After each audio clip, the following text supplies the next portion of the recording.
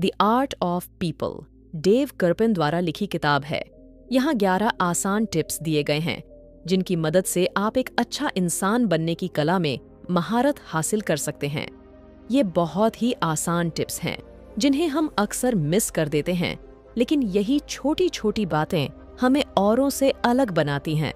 अपने आप को बेहतर समझने के लिए, एक अच्छा श्रोता बनने के लिए, दूसरों को प्रेरित करने के लिए उन्हें वांटेड महसूस कराने के लिए एक नेता की तरह उनका नेतृत्व करने और लोगों में खुशी बांटने के लिए ये सभी ऐसी चीज़ें हैं जिनको फॉलो करके हम लोगों को समझने में महारत हासिल कर सकते हैं। क्या आप लोगों को प्रभावित करना चाहते हैं, अपनी तरफ़ आकर्षित करना चाहते हैं? क्या आप लोगों को इन्फ्लुएंस करना चाहते हैं? क्या आप चाहते हैं कि पूरी दुनिया आपकी दीवानी हो? क्या आप चाहते हैं कि सब आपको फॉलो करें और आपकी हर बात को माने? तो आज की समरी आपके बहुत काम आने वाली है, क्योंकि आज हम एक ऐसे आर्ट के बारे में बात करने वाले हैं जो दुनिया के सबसे सफल लोगों में पाई जाती है। कैसे वो लोगों को हैंडल करते हैं? कैसे वो लोगों से बात करते हैं? कैसे वो लोगों को इम्प्रेस कर जाते हैं? ये सब आप इस समरी में जानने वाले हैं। यहाँ तक कि ये भी कहा गया है कि अगर अपने डेल कार्निगी की how to win friends and influence people नहीं पढ़ी है तो भी कोई बात नहीं। आपको इस बुक समरी का लिंक डिस्क्रिप्शन में मिल जाएगा। आज हम बात करने वाले हैं एक ऐसी किताब की जो हमें एक बेहतर इंसान बनने की कला को मास्टर करना सिखाने वाली है। हम बात कर रहे हैं द आर्ट ऑफ़ पीपल किताब की। ये किताब डेव कर्पन की लिखी हुई एक ऐसी गाइडलाइन है। जो बताती है कि अपनी लाइफ के कुछ सबसे महत्वपूर्ण लोगों और रिलेशंस को कैसे मैनेज किया जाए। लोग हमारी लाइफ में मैटर करते हैं और वो लोग आपकी जॉब करियर लाइफ और रिलेशनशिप्स के मैनेजमेंट में या किसी भी चीज़ से ज़्यादा अहमियत रखते हैं। इस किताब में लोगों को समझने के लिए, बेहतर रिश्ते बनाने के लिए और रिश्तों का ज़्यादा से ज़्यादा फ़ायदा लेने के लिए 11 आसान टिप्स बताए गए हैं। तो चलिए समरी को शुरू करते हैं और इन 11 टिप्स के बारे में डिटेल में बात करते हैं। अध्याय एक, खुद को और दूसरों को समझने का गोल बनाएँ। आर्ट ऑफ़ पीपल में सेल्फ अवेयरनेस बहुत ज़रूरी है और इससे पहले कि आप किसी और को समझ पाएँगे, अपने आप को समझना बहुत ज़रूरी होता है। आपको जल्द एक्शन लेने चाहिए और जितना जल्दी पॉसिबल हो, आपको खुद को समझने की कोशिश करना होगा। हर कोई अलग अलग कैटेगरीज में आता है और दूसरे को समझने से पहले आपको ये समझने की ज़रूरत है कि आप कहाँ फिट होते हैं। ये समझना भी बहुत महत्वपूर्ण होता है कि आप लोगों के साथ कैसे इंटरेक्ट करते हैं और दूसरे के साथ आपके संबंध कैसे हैं।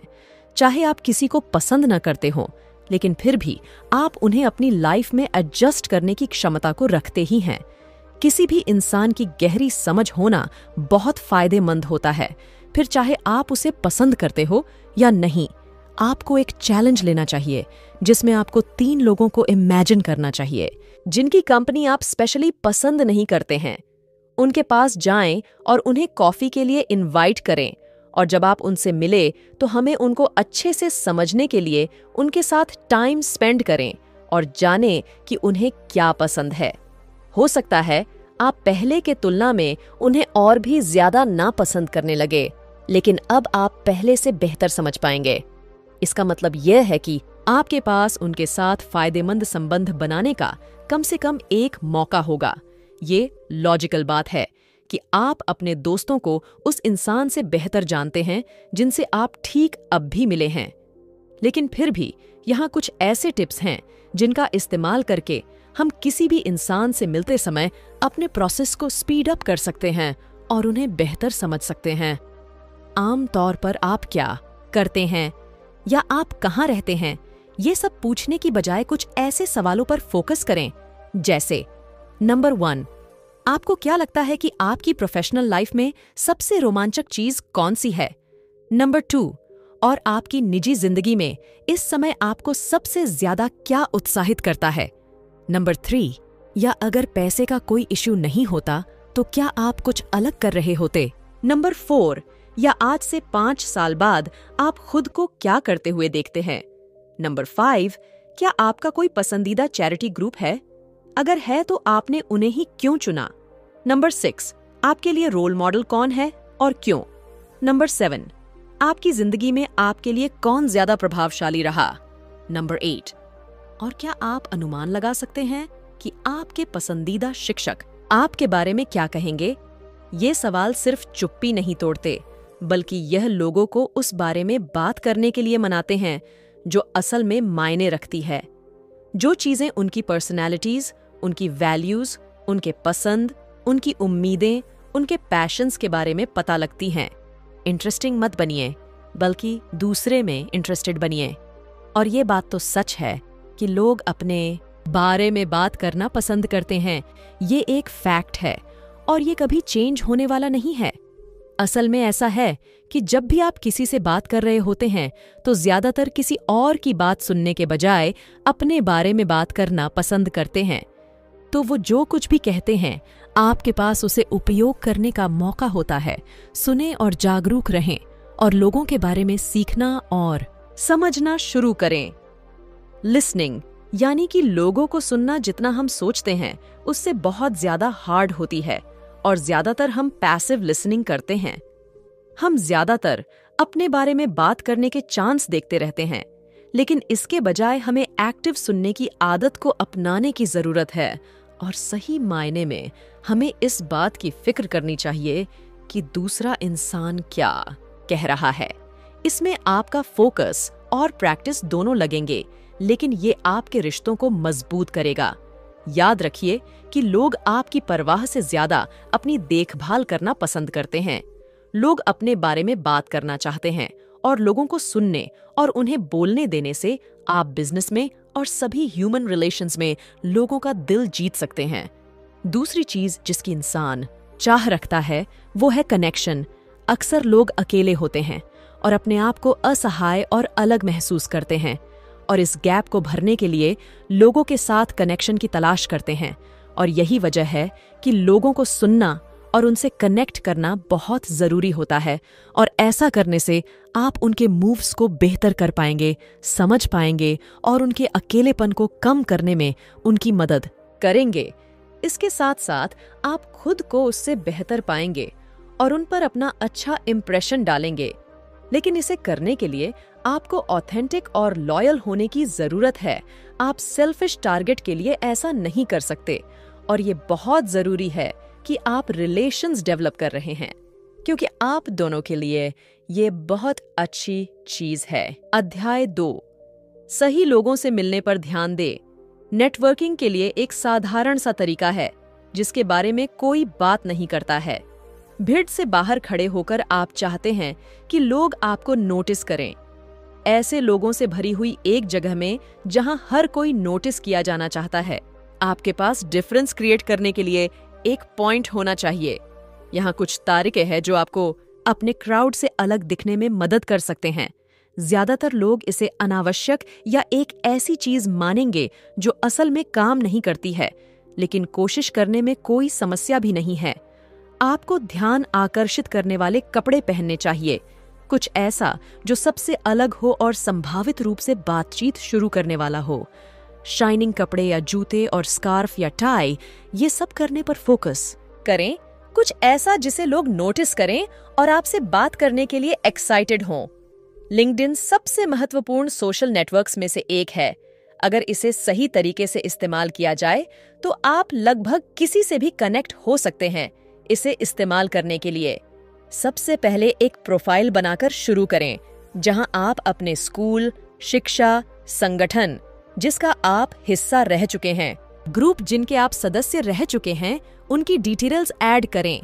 यहाँ महत्वपूर्ण है कि कुछ भी छोड़ा न जाए, क्योंकि जितना ज़्यादा मैटर आपकी प्रोफ़ाइल पर उल्लेख होगा, उतनी ही ज़्यादा संभावनाएँ हैं कि आपको लोगों से कनेक्ट करने का मौका मिलेगा। इसके बाद तुरंत उन लोगों से कनेक्ट करें। जिनके साथ आप काम करते हैं या जिनके साथ आपने स्कूल में पार्टिसिपेट किया है। ऐसा करने से आपकी सेकेंड डिग्री कनेक्शन एबिलिटी जल्दी से इम्प्रूव हो जाएगी। अगर कोई ऐसा इंसान है जिन्हें आप विशेष रूप से पसंद करते हैं तो उन्हें लिंक्डइन पर सर्च करें और एक आपसी संबंध को खोजें। अपने आपसी कनेक्शंस को इंट्रोड्यूस करने को कहें और उम्मीद है कि आप एक मीटिंग फिक्स कर लेंगे। अपना एक पर्सनल एडवाइजरी बोर्ड तैयार करें। इसमें सात से ग्यारह लोग जुड़ सकते हैं। आपका एडवाइजरी बोर्ड आपको अपने पहले से तय गोल तक पहुँचने में मदद करता है। इसमें सही लोगों को चुनना है और ये समझना बहुत ज़रूरी है कि आपके टारगेट तक पहुँचने के लिए कौन कितना मददगार होगा। आपके बोर्ड में कम से कम 50 परसेंट लोग ऐसे होने चाहिए जिन्हें आप पहले से ही जानते हो। कम से कम ऐसे लोग हों जिनसे आप कभी ना मिले हों, लेकिन आपके आपसी संबंध हों। एक बार अपने ये तय कर लिया कि आपके एडवाइजरी बोर्ड में कौन होना चाहिए, तब आप उन्हें इनवाइट करें और सेट करें कि आप कब और कैसे उनसे रेगुलरली मीटिंग फॉलो करेंगे। इस किताब के लेखक कर्पन स्लो हायरिंग और फ़र्स्ट फायरिंग पर विश्वास करते हैं। ये सिद्धांत प्रोफेशनल और व्यक्तिगत दोनों संबंधों के लिए है। आप अपनी ज़िंदगी में उन लोगों के बारे में सोचने के लिए समय दें जिन्हें आपने जल्दी में हायर कर लिया है। लेकिन आपका मकसद को पूरा नहीं कर रहे हैं। ऐसे लोगों को अलग कर देना चाहिए और जाने देना चाहिए। अपने दोस्त, कर्मचारी और जान पहचान के लोगों पर ज़्यादा ध्यान देना चाहिए। दूसरी तरफ़, आपको स्लो हायरिंग करने की ज़रूरत है। जल्दबाजी में लोगों के साथ इंटेंस रिलेशनशिप मत बनाइए। जब तक आप ये जान न लें कि आपका ये फैसला सही है या नहीं। अपना समय ले और कोई कमिटमेंट करने से पहले एक दूसरे को अच्छे से जान लें और ये बात प्रोफेशनल और पर्सनल दोनों रिलेशनशिप्स के लिए होती है। आप लोगों को अपने इनर सर्कल में लाने से पहले अपना समय ले, लेकिन जब भी आपको लगे कि वो गलत है तो उन्हें बाहर निकालने से डरें भी नहीं। इंसान होने का एक हिस्सा ये भी है कि उसे पसंद करने की ज़रूरत है। आपकी हमेशा सबके सामने एक अच्छे इंसान बनने की तमन्ना आपको लॉन्ग टर्म में नुकसान पहुँचा सकती है। कुछ लोग ऐसे भी होते हैं जो आपकी मदद काफ़ी लेते हैं, पर असल में आपको रिटर्न में कुछ भी नहीं देते हैं और ऐसे लोगों को आपको हमेशा उपेक्षा करना चाहिए। वहीं दूसरी तरफ़ हम सभी बिज़ी रहते हैं और ज़्यादातर लोगों को अपना सारा समय देने का रिस्क नहीं ले पाते हैं। कभी कभी जब आप किसी की दी गई वैल्यू के बारे में अनिश्चित होते हैं तो आप उन्हें बिना कोई चांस दिए बाहर निकल देते हैं। हालाँकि ये आपके पक्ष में काम कर सकता है, लेकिन कभी कभी आप कीमती चांस को मिस कर सकते हैं। लोगों को अपना समय कमिट करने से पहले और उन्हें निकालने से पहले उनके बारे में और रिश्तों के बारे में समझने के लिए समय निकाले। अध्याय तीन। दूसरों को पढ़ना सीखे। हमने पहले से ही दूसरों को सुनने की अहमियत पर बात की है। लेकिन यह समझना आवश्यक है कि सुनना केवल कानों द्वारा सुनना नहीं है। किसी को वाकई में सुनने के लिए आपको उस पर ध्यान देना होगा कि सामने वाला इंसान क्या कह रहा है। आपको ये समझने के लिए एक जागरूकता की ज़रूरत है कि वो क्या कह रहे हैं और इसका क्या मतलब है। इस बात पर फोकस करें कि उनके लिए क्या ज़रूरी है और क्यों किसी भी क्षण में सुनने का मतलब है। इस बात की देखभाल करना कि सामने वाला इंसान क्या कह रहा है। सुनना बहुत ही ज़्यादा मुश्किल चीज़ है। आपकी सोच से भी ज़्यादा मुश्किल। आपको ये सीखने की ज़रूरत है कि अपने कान के साथ साथ अपनी आँखों से कैसे दूसरे इंसान की बात सुनी जाए।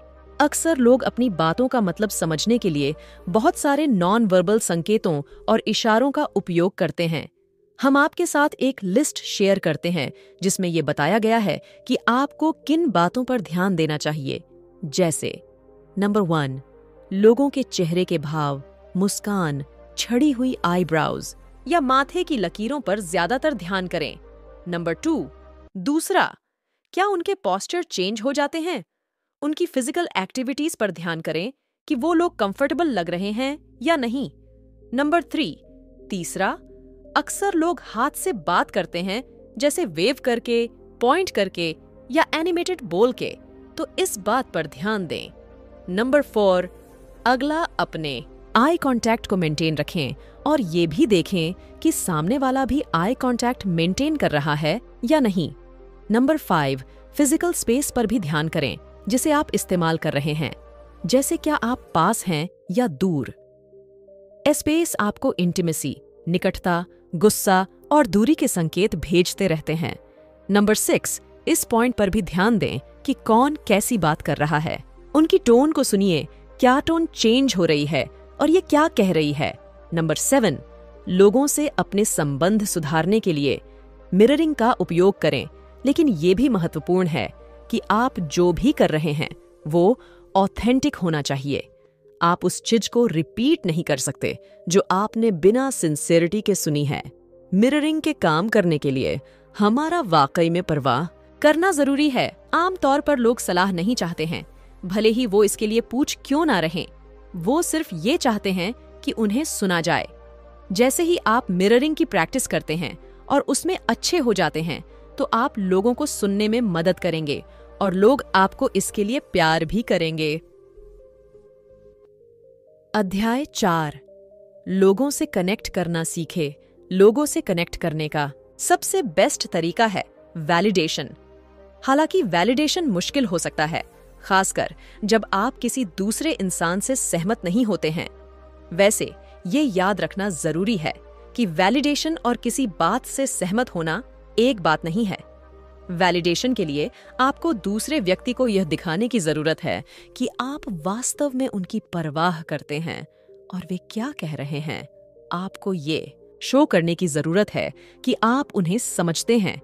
जब आप पहली बार किसी से मिलते हैं तो सबसे महत्वपूर्ण सवाल जो आप उनसे पूछ सकते हैं, वो ये है कि मैं आपकी कैसे मदद कर सकता हूँ? ऐसा पूछकर आप दूसरे इंसान को मदद मांगने का मौका दे रहे हैं। ऐसे करने से वो आपको सराहेंगे और आपसे कनेक्टेड फील करेंगे। ये सब उन्हें रिटर्न में आपकी मदद करने के लिए भी इंस्पायर करेगा। हो सकता है कि कुछ मामलों में आपकी मदद को रिजेक्ट कर दिया जाए और ऐसा होगा, क्योंकि वो नहीं जानते कि आप उनकी मदद कैसे कर सकते हैं। लेकिन ऐसी स्थितियों में आपका ऑफ़र फ़ायदेमंद होगा, क्योंकि भले ही वो आपकी मदद न लें, लेकिन वो फिर भी ऑफ़र को सराहेंगे। ज़्यादातर सभी के पास एक ऑनलाइन उपस्थिति है और हमारे लिए वास्तविक, जीवन और अपनी ऑनलाइन उपस्थिति में ऑथेंटिक बने रहना बहुत महत्वपूर्ण है। ये महत्वपूर्ण है कि आपकी ऑनलाइन पर्सनैलिटी अलग नहीं होनी चाहिए। नहीं तो इसे लोग समझेंगे कि आप नकली हैं। इसके साथ साथ आपका कमज़ोर होना भी बहुत ज़रूरी है। ऐसा करके आप अपने आप को किसी और के लिए ओपन कर रहे हैं और वो आपसे एक गहरा कनेक्शन फील करेंगे। वो आपसे और आपकी वल्नरेबिलिटी से बेहतर संबंधित हो पाएँगे और ये एक नया कनेक्शन स्थापित करने में बहुत ज़्यादा शक्तिशाली साबित हो सकता है। इसलिए रोने से डरे नहीं। यहाँ एक गोल्डन रूल है, जिस रूल को हम सीख कर बड़े हुए हैं। और वो रूल ये है कि दूसरों के साथ वैसा ही करो, जैसा आप अपने साथ होते हुए देखना चाहते हैं। ये एक ऐसी चीज़ है, जिसे हम पहले से सुन चुके हैं और जिसे कई बार कहा भी गया है। लेकिन फिर भी इस रूल के साथ कुछ बेसिक कमज़ोरी भी हैं और वो ये है कि यहाँ हर कोई अलग है। कुछ निश्चित शर्तों में आप एक तरह से ट्रीट किया जाना पसंद करेंगे, लेकिन उसी कंडीशन में किसी और को बहुत अलग तरह के ट्रीटमेंट की ज़रूरत होगी। कॉन्टेक्स्ट समझना भी उतना ही इम्पोर्टेंट है जितना लोगों को समझना है, इसलिए हम हमें इस नियम के बदले वर्जन के साथ जीना चाहिए, जो ये कहता है कि दूसरों के साथ वैसा ही करें जैसा वो अपने साथ करवाना चाहते हैं। अध्याय पाँच। लोगों को प्रभावित करने पर ध्यान दे। आप वाकई में प्रभावशाली होना चाहते हैं। आप लोगों को अपने विचारों के साथ चलने के लिए प्रेरित करना चाहते हैं। इसको करने के कुछ तारीके भी हैं। जैसे, कुछ लाइंस का उपयोग। ना करें। जैसे मेरे पास एक आइडिया है, कभी भी मैं शब्द का उपयोग न करें। टू, हालाँकि आपको अपने विचार और परिणाम की दिशा में दूसरे को सही डायरेक्शन देना चाहिए, लेकिन ज़्यादा क्लियर भी ना दिखाइए, उन्हें गैप भरने दें। थ्री आप जो चाहते हैं, उसका उल्टा समझाने की कोशिश करें। इस विकल्प के मुद्दों को पहचानें और उम्मीद है कि दूसरे आपके विचार को पकड़ पाएँगे। फोर अगर दूसरे आपके विचारों को मेंशन करते हैं चाहे उससे मिलता जुलता या एकदम सटीक, उससे सहमति जताए और प्रोत्साहित करें। फाइव, आप उन्हें वैकल्पिक प्रस्तुत कर सकते हैं, यदि वे आपके विचारों के साथ मेल नहीं खाते हैं। वे सुझाव देते हैं कि आप उनके विचारों को सुनने के लिए तैयार हैं, लेकिन आपको भी इसे और बेहतर बनाने के लिए कुछ तरीके भी है। आपको असल में सेल्स पिच से बचने की ज़रूरत है, क्योंकि हर कोई एक सेल्स पिच को एक मील दूर से समझ जाता है। और किसी को भी कोई चीज़ सेल किया जाना पसंद नहीं होता। ऐसे मामले में कहानी सुनाना एक बेहतर विकल्प है। कहानियाँ इंसान को भावनात्मक स्तर पर आपके साथ कनेक्ट करती है। एक सेल्स पिच के बजाय स्टोरी टेलिंग से प्रोडक्ट्स, सर्विसेज़ और आइडियाज़ को कोई ज़्यादा ऑथेंटिक वे में सेल किया जा सकता है। दूसरों को प्रभावित करने के लिए आपको यह जानना होगा कि कब चुप रहना है और कब सुनना है। ये मायने नहीं करता कि आपको किससे क्या कहना है, क्या ऑफ़र देना है, क्या सेल करना है या क्या ट्रस्ट दिलाना है। ये हमेशा इफ़ेक्टिव होता है कि आप अगले इंसान को अच्छा और सही सवाल पूछकर उसमें असली ऑथेंटिक रुचि दिखाएँ। आखिर में आपको अपने आइडियाज़ या प्रोडक्ट्स को शेयर करने के लिए अगर आपने ठीक से तैयारी की है तो आपका विचार प्रस्तुत करना सरल हो जाता है। जब तक आप वह नहीं पूछते जो आपको चाहिए, तब तक आप वह नहीं प्राप्त कर सकते जो आप चाहते हैं। लोग नहीं सुनने से डरते हैं, लेकिन आपको प्रश्न पूछना अत्यंत महत्वपूर्ण है, चाहे ये किसी भी बारे में हो। लेकिन अगर आप पूछ ही नहीं रहे हैं तो डिफ़ॉल्ट रूप से उत्तर देने के लिए एक नहीं ही होगा, इसलिए डरे नहीं और सवाल पूछे। अध्याय छ। बदलती सोच सिर्फ़ प्रभावित करने के लिए दूसरे के दिमाग को बदला न करें, बल्कि अपने खुद के माइंडसेट को बदलें, अपनी मानसिकता को बदले, किसी और की मानसिकता के बदलने तक। प्रतीक्षा करने से बेहतर है। होशियार बनना फ़ायदेमंद हो सकता है, जब तक आप विनम्र और ऑथेंटिक हैं।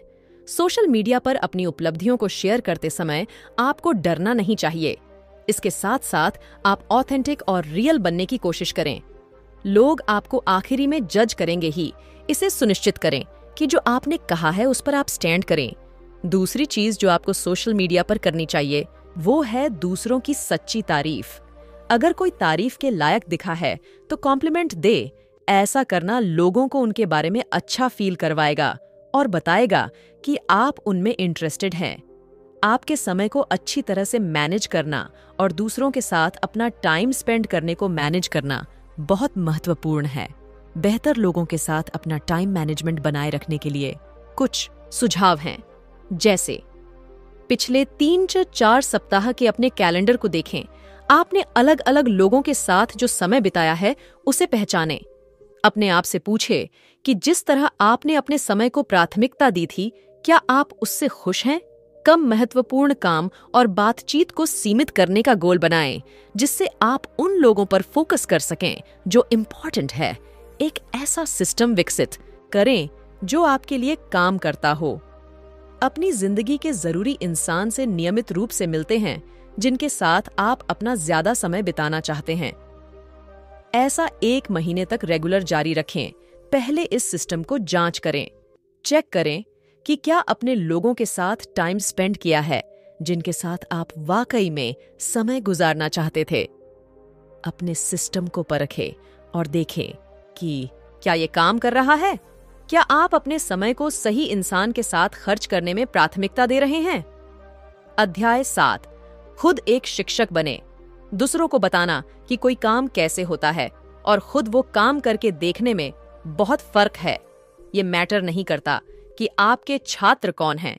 लेकिन चीज़ों को खुद करके दिखाना लॉन्ग टर्म में फ़ायदेमंद होता है।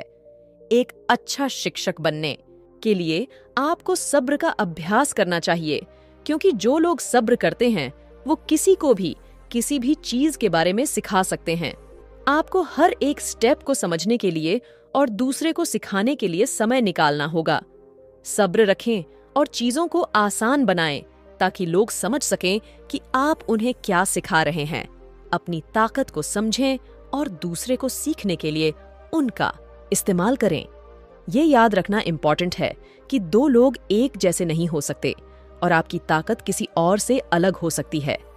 किसी को कुछ नया सिखाने का टारगेट रखते समय ये न समझे कि वो आपके जैसे ही है। पहले उनकी ताकत को पहचानें और उन्हें समझें। अपनी शिक्षण क्षमताओं को बेहतर बनाने के लिए आप कुछ अच्छी गतिविधियों को आजमा सकते हैं, जैसे वेट अगर आप मैनेजर नहीं हैं तो कुछ ऐसे लोगों को पहचानें जिन्हें आप किसी दूसरे तरीके से अपने प्रभाव में ला सकते हैं। दो, अपने कुछ पसंदीदा स्कूल टीचर्स को याद करें। याद करें कि उनकी टीचिंग्स आपके लिए कितने फ़ायदे थे और उन्होंने आपकी परफॉर्मेंस पर कैसे असर डाला। तीन अपने नोट्स पर ध्यान दें और ऐसे तारिके ढूंढें जिससे आप अपने कुछ पसंदीदा शिक्षकों की खूबियों को अपनाकर एक बेहतर मैनेजर या इन्फ्लुएंसर बन सके। एक शिक्षक या मैनेजर के रूप में ये ज़रूरी है कि दूसरे को गोल्स की शक्ति और अकाउंटेबिलिटी पार्टिसिपेशन के बारे में सिखाया जाए। लोगों को ट्रैक पर रखने के लिए उन्हें एक लॉयल पार्टनर खोजने के लिए प्रेरित करें। उनके अकाउंटेबिलिटी पार्टनर्स को उनके साथ मिलकर स्मार्ट गोल्स सेट करने, न, चाहिए। सबको अपने पार्टनर के साथ वीक में कम से कम एक बार ज़रूर मिलना चाहिए। अध्याय आठ, नेता बने टीम में कोई मैं नहीं होता, बल्कि नेतृत्व में मैं होता है। इतने सारे लोग बिना किसी फॉर्मल टीचिंग या कोचिंग के लीडर बन जाते हैं। हम आपके साथ कुछ ऐसी चीज़ें शेयर कर रहे हैं, जिन पर अच्छे नेताओं को हमेशा ध्यान लगाने की ज़रूरत है, जैसे, एक, अपनी टीम के विजन को पहचानना और उस विजन को अपनी टीम के साथ स्पष्ट रूप से बताना। दो, दूसरा, ये सुनिश्चित करें कि टीम में सही इंसान सही रोल निभा रहे हैं। तीन, तीसरा, ये पक्का करना कि आपके मनचाहे लक्ष्य को हासिल करने के लिए अच्छे खास पैसे और उपलब्ध संसाधन हो। चार चौथा, एक नेता के रूप में पारदर्शी होना बहुत महत्वपूर्ण है। हालाँकि ये मुश्किल काम है, लेकिन आपको वो इंसान बनने की ज़रूरत है जो बुरी खबरें देता है। ये आपके पर्सनल और प्रोफेशनल लाइफ दोनों के लिए है। लोगों के साथ जितना हो सके, उतना ईमानदार और पारदर्शी होने की कोशिश करें। बुरी खबर देते समय स्पष्ट, सीधे और सकारात्मक रहे। परिवार और सहकर्मियों के साथ पारदर्शिता ट्रस्ट बिल्ड करेगा और रिलेशंस को गहरा बनाएगा। पाँच, इन दिनों कोई भी लीडर बन सकता है। फिर चाहे आप अपनी कंपनी के किसी ग्रुप को लीड कर रहे हों, आपकी टीम, आपका डिपार्टमेंट या आपकी फैमिली हो, आप एक लीडर बन सकते हैं। भले ही आपके पास कोई ऑफिशियल लीडरशिप रोल भी ना हो, बस आप अपने आसपास के लोगों के लिए एक अच्छा उदाहरण सेट कर रहे हो और आप अपनी टीम में कई लीडर्स भी डेवलप कर सकते। हैं, अध्याय। नाइन। कॉन्फ्लिक्ट को सुलझाना सीखें। कोई भी कॉन्फ्लिक्ट को एंजॉय नहीं करता है। इसलिए जब भी कॉन्फ्लिक्ट बढ़ता है, आपका ये सोचना महत्वपूर्ण है कि इसे कैसे इफ़ेक्टिव वे से सॉल्व किया जाए। ये नियम आपके किसी के साथ कॉन्फ्लिक्ट पर या दो लोगों के बीच हुए कॉन्फ्लिक्ट पर दोनों पर लागू होता है। आपको लोगों को शांत करने की ज़रूरत है। यहाँ हमें कोई विजेता नहीं ढूंढना है। बल्कि एक ऐसा समाधान ढूंढना है जो लोगों के लिए काम करे। आम तौर पर कॉन्फ्लिक्ट तब होता है, जब कोई सुनने या मदद पाने के लिए कॉन्फ्लिक्ट कर रहा होता है। दोनों पक्षों को समझें और हर किसी को अपनी बात कहने का मौका दे। आपकी इंस्टिंक्ट्स कॉन्फ्लिक्ट्स को जल्दी से जल्दी खत्म करने का प्रयास कर सकती हैं, लेकिन वास्तविकता ये है कि ये काम नहीं करेगा। दोनों साइड्स को ये फील करने की ज़रूरत है। कि उन्हें शांत करने से पहले ठीक से सुना गया है।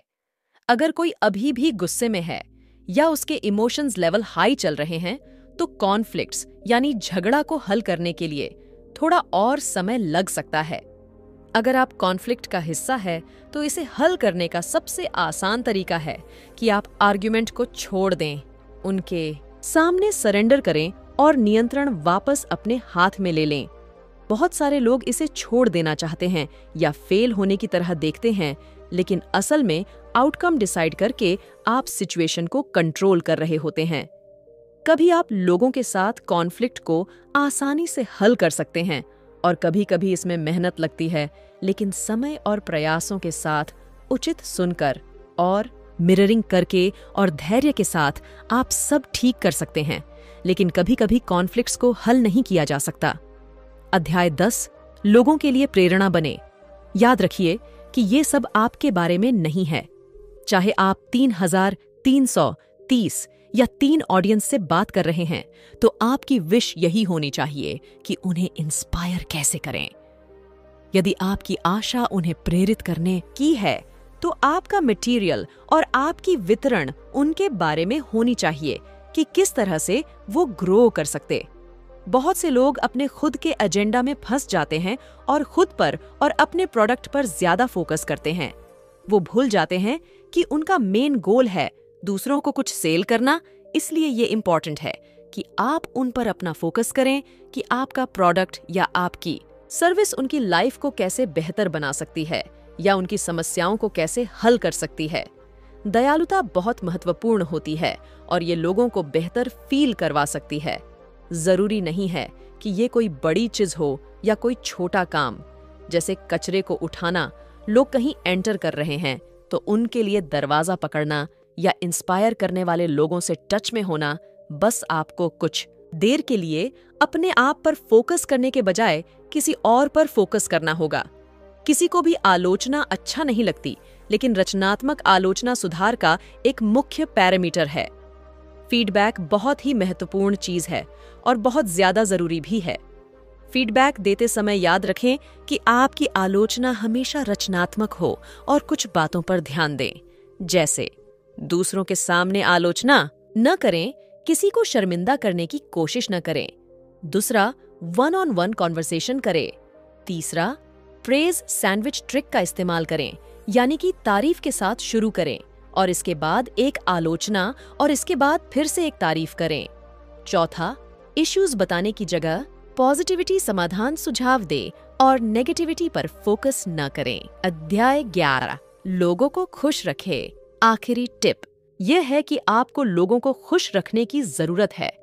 आप क्रिएटिव तरीकों के बारे में सोचें, जिससे आप अपनी ज़िंदगी के महत्वपूर्ण लोगों को सरप्राइज़ कर सकें और खुशी को प्रमोट कर सकें। आप अपने कर्मचारी, सहकर्मी, मित्र और परिवार पर ध्यान दें। हर दिन किसी को खुशी देने की कोशिश करें और उन्हें सरप्राइज़ करें। फिर चाहे वो एक छोटा सा कॉम्प्लीमेंट ही हो या फिर छोटा सा मज़ाक ही क्यों ना हो, क्योंकि छोटी चीज़ें काफ़ी दूर तक जाती हैं। थैंक यू कार्ड लिखने के बारे में सोचें। हालाँकि ये ओल्ड फ़ैशन है, लेकिन ये बहुत ज़्यादा प्रभावशाली हो सकता है। ये शो करता है कि आप लोगों की देखभाल करते हैं और आप उनके लिए वक्त निकालकर, बैठकर, एक पर्सनल नोट लिखकर उन्हें कार्ड भेजा है। ये सच में बहुत आसान काम है, जो वफादारी, भरोसा, रिश्ते बनाता है। आप छोटे और विचारशील उपहार भी भेज सकते हैं। गिफ्ट्स को बड़ा या महँगा होने की ज़रूरत नहीं है। तो दोस्तों, ये थी आज की समरी ऑडियो बुक तो उम्मीद करती हूँ कि आपको ये समरी ऑडियो बुक पसंद आई होगी और आप इसे अपने दोस्तों को ज़रूर शेयर करें। धन्यवाद।